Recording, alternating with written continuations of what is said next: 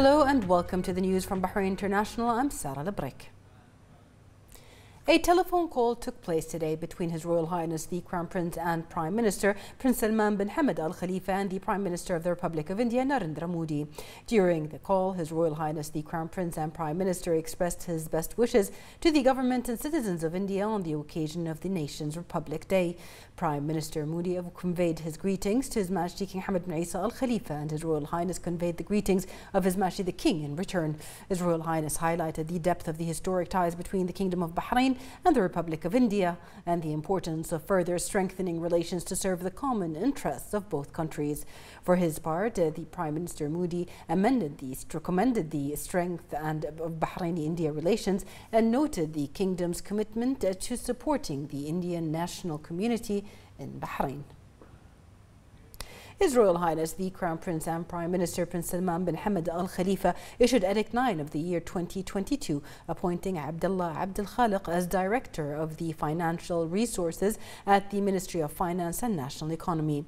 The Minister of Finance and National Economy shall delegate the appointed director to any of the government agencies. His Royal Highness the Crown Prince and Prime Minister also issued Edict 10 of the year 2022, appointing Mariam Jum'a Al Fleti as Director of the Housing Services Directorate at the Ministry of Housing. His Royal Highness also issued Edict 11 of the year 2022 appointing Khalil Ibrahim Al as Director of the Land Survey Directorate at the Survey and Land Registration Bureau. His Royal Highness also issued Edict 12 of the year 2022 appointing directors at the Real Estate Regulatory Authority. Under the edict, Hamad Mohammed Hazim was appointed as Director of Information and Real Estate Development Directorate, Wajdan Ahmed Al Bin Ali as Director of the Human and Financial Resources Directorate, and Mahnaz Ghulum Abu Qasim as Director of Real Estate Operations Directorate.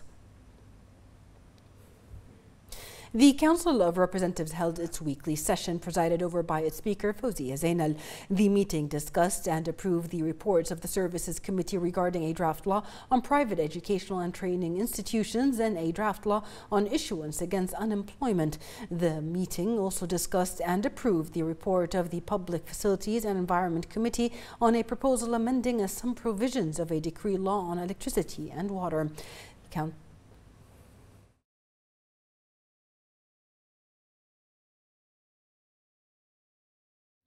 Council of Representatives Speaker Fawzia bint Abdullah Zainal stressed that the programs, plans and strategies adopted by the Supreme Council for Women, the SCW, headed by Her Royal Highness Princess Sabika bint Ibrahim Al Khalifa to empower Bahraini women, protect their dignity and enhance their standing in the prosperous era of His Majesty the King.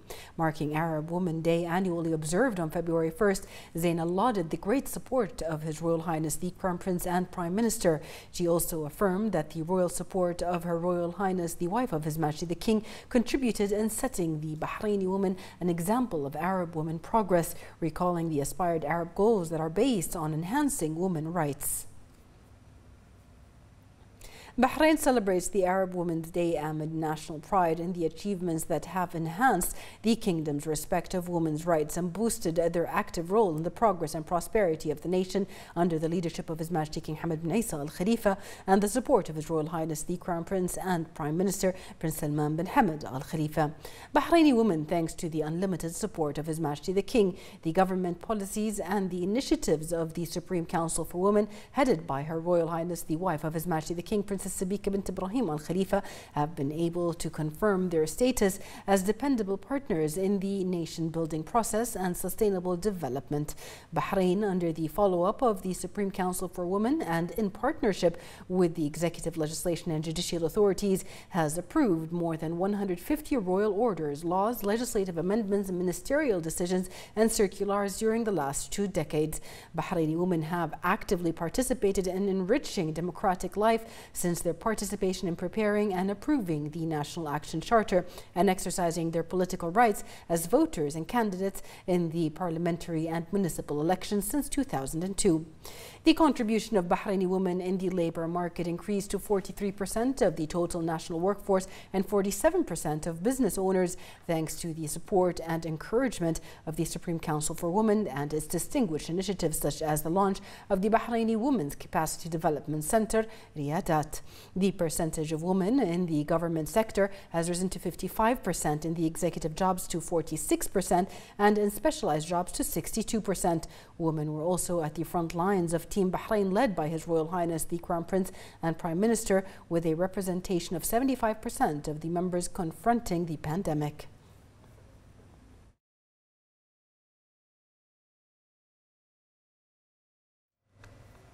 The Supreme Judicial Council held a press conference headed by the Supreme Judicial Council Deputy Chairman and Cassation Court President Chancellor Abdullah bin Hassan Al Buainin, where he reviewed the achievements of the Judicial Authority in 2021. He announced a decrease in the annual backlog of cases by 16.5%, noting that the average age of the ongoing lawsuit has become less than five months in a single judicial instance. Al Buainin said that the speed of resolving cases has made progress on the level level of general performance of the courts, adding that 90% of the cases were resolved in less than six months. He said that the statistical indicators of the execution courts indicated that more than 93% of the judicial decisions were taken within five working days and 82% of the judicial decisions were taken within one day. For his part, the head of Judicial Inspection Directorate, Judge Chancellor Abdulrahman Al Malla, explained that the judicial inspection continued in coordination and cooperation with judicial supervision to follow up on the complaints submitted and the preparations of technical reports. The Supreme Council of Islamic Affairs, the SCIA, congratulated His Majesty King Hamad bin Isa Al Khalifa and His Royal Highness the Crown Prince and Prime Minister Prince Salman bin Hamad Al Khalifa, marking the 21st anniversary of the National Action Charter and 54th anniversary of the establishment of Bahrain Defense Force. During its regular meeting today, headed by the Sheikh Abdurrahman bin Mohammed bin Rashid Al Khalifa, the SCIA noted that the anniversary of the National Action Charter is a precious one that constituted an important turning point point in the modern history of Bahrain in which it reflected the wise vision of His Majesty the King along all the combined efforts that adopted a comprehensive development march under His Majesty's leadership. Meanwhile, the SCIA pointed out the great role of the Bahrain Defense Force that work along the other security and military sectors to preserve and protect national gains and achievements. Then the Council lauded the directives of His Royal Highness the Crown Prince and Prime Minister in revising and updating the measures regarding prayers in mosques and places of worship. The Council asserted that these royal directives reflect Bahrain's keen interest and care under the leadership of His Majesty the King to places of worship and their importance in the hearts and souls of all. The Council also praised the directives of His Royal Highness the Crown Prince and Prime Minister to expand the enforcement of the Alternative Sanctions and Measures Law and implementing the Open Prisons Program reflects the Kingdom's pioneering approach and its quality, le quality leap in the human rights field. Finally, the Council condemned the heinous terrorist attack on the Houthi terrorist militias that targeted the Kingdom of Saudi Arabia and the United Arab Emirates.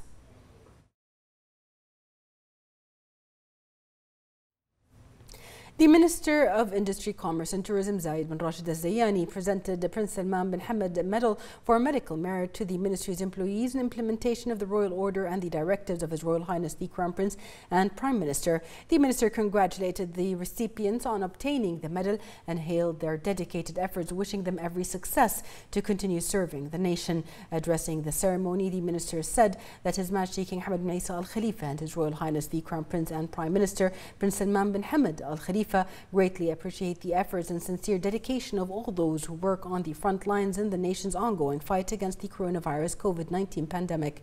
He hailed the dedicated national efforts exerted by the health professionals, the Bahrain Defense Force, the Ministry of Interior and all other supporting authorities to combat COVID-19 pandemic. The employees expressed their pride at receiving the Prince Salman bin Hamad Medal for Medical Merit, adding that the honor would motivate them to further serve the nation.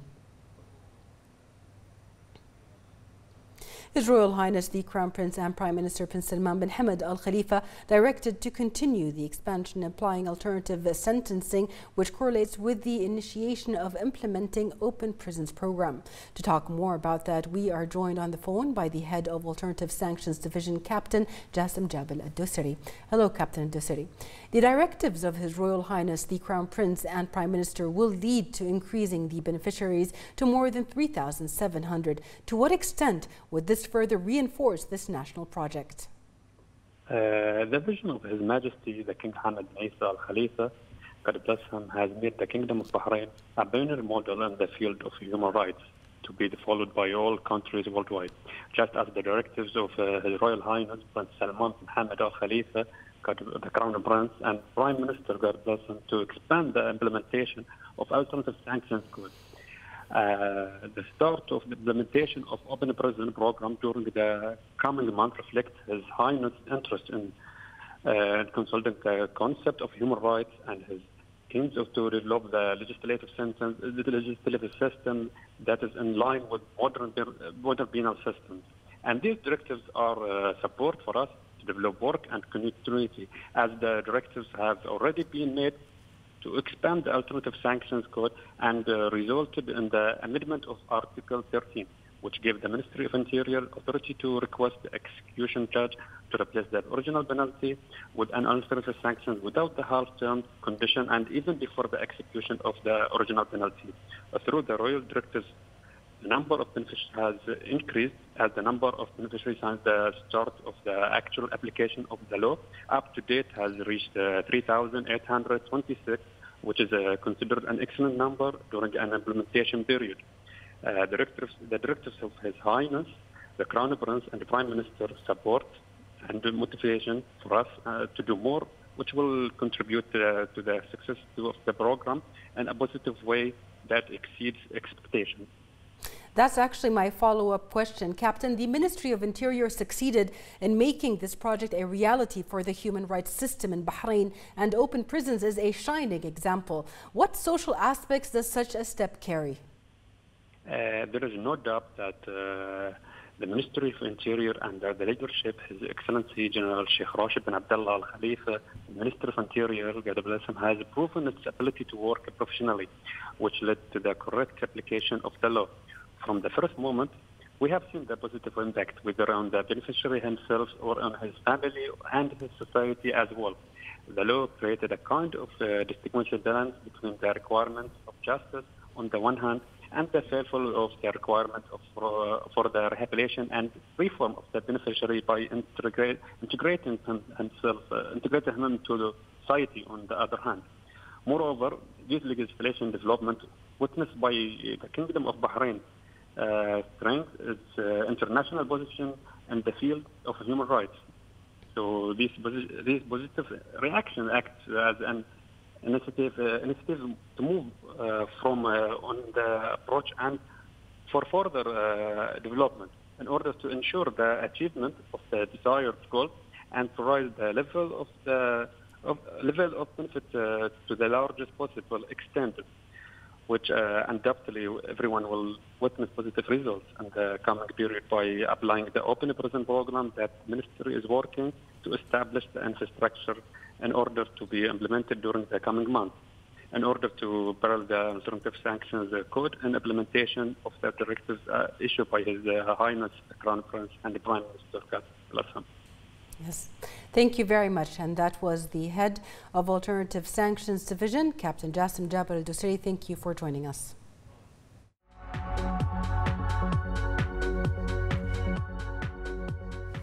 Bahrain's outstanding vaccination record, efforts and planning have been praised by the Gulf Health Council. The council highlighted uh, the Bahraini efforts in vaccination and stressed the kingdom got rid of endemic measles and rubella in 2019 and how the rate of routine vaccination for children and other components of society reached 97%.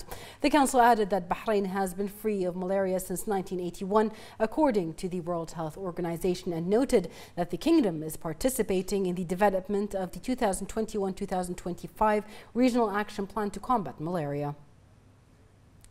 The national vaccination campaign continues to witness a wide turnout of citizens and residents. The Ministry of Health announced that 1,223,859 had taken the first dose of the vaccine, while 1,193,959 had taken the second, and 939,199 had taken the booster dose. The ministry renewed its call for the community to commit to all precautionary measures and take the initiative to register for the coronavirus vaccination. The Ministry of Health said today that the number of active coronavirus cases reached 44,170 with 4,251 recoveries, 5,808 registered new cases and one death. There are 126 active cases receiving treatment and 14 patients in critical condition. The ministry urges everyone to comply with the guidelines issued by the National Task Force for Combating the Coronavirus. And to talk more about the importance of adhering to the precautionary measles measures during the yellow level, we are joined on the phone by consultant family physician and chief of health programs at the Health Promotion Directorate in the Ministry of Health, Dr. Fatma Hbail. Hello, Dr. Fatma. Can you tell us more about uh, the continuation of the yellow level till February 14th and your advice in this regard? Uh, good, good, evening to everybody. Uh, the National Medical Task Force for Combating the Coronavirus announced recently the continuation of the uh, yellow, uh, yellow, level until the 14th of uh, 2022 as a precautionary measure to combat um, the COVID pandemic and the increasing cases. Um, this is an important and valuable measure, honestly, to reinforce strict compliance to all precautionary measures announced previously and to maintain the health and safety of uh, all citizens and residents uh, in our beloved kingdom. The yellow level uh, restricts um, entrance to certain places uh, where only vaccinated individuals, uh, recovered individuals, or children below 12 years old accompanied by a vaccinated or a recovered uh, adult can enter such as shopping malls, um, indoor areas, indoor um, areas in the restaurants, indoor events, uh, indoor gyms, sport halls, swimming pools, even uh, entrance to spas or barber shops, cinemas, and so on. Um, Meanwhile, um, the essential sectors are uh, still open for all people regardless of their uh, vaccination status. Um, also, the governmental sect- sectors um, um operate with a almost 30% of their employees uh, working from home in order to reduce um, contact between uh, individuals. Um, of course, people can uh, review the latest guidelines and instructions which are uh, announced by the National Medical Task Force uh, through uh, all uh, Ministry of Health um, channels um, through the Instagram, through Twitter, the website, and even through the um, website, which is www.healthalert.gov.bh, which has everything uh, regarding the um, uh, corona pandemic. Uh, of course, I would like to emphasize on the importance of wearing face masks all the time, uh, practicing social distancing all the time, and maintaining full vaccination status and frequent hand washing. Right. And at the end, I want to um, uh, just remind the people, remind the audience, uh, for any uh, person who has any kind of symptoms, even if they were very mild symptoms, they need to get to get tested as soon as possible, either by doing a rapid test at home or by contacting uh, triple four uh, for assistance. Thank you very much, uh, Doctor, for that feedback. That was Consultant Family Physician and Chief of Health Programs at the Health Promotion Directorate in the Ministry of Health, Dr. Fatma Hbail. Thank you for joining us.